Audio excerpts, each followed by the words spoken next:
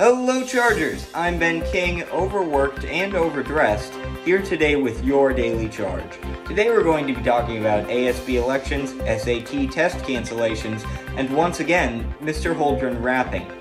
Let's get started. ASB elections are open today until 5 p.m. All students who aren't seniors can vote, so make sure you do. To vote, simply head to dospueblos.votingforschools.com. The link will also be on screen and in our bio.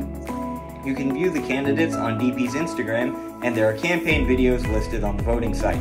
Get out there and vote, Chargers. Attention, all students taking the SAT.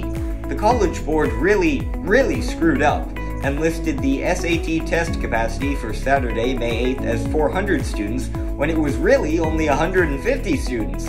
How they could screw up that badly is beyond me, but it means that 250 students now need to reschedule their SAT tests.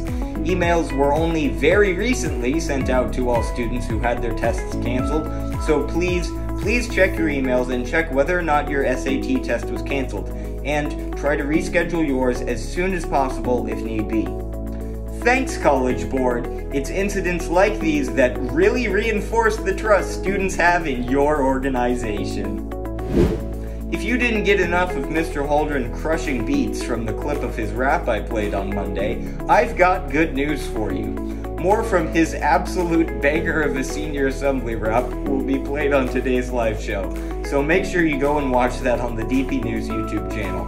And while you're there, smash the like button and subscribe to the channel. That's all for today, Chargers. Thanks for watching, stay safe, and remember to follow us on Twitter and Instagram at DPNews805, and subscribe to us on YouTube at DP News. I'll see you all next week, so until then, have a great weekend.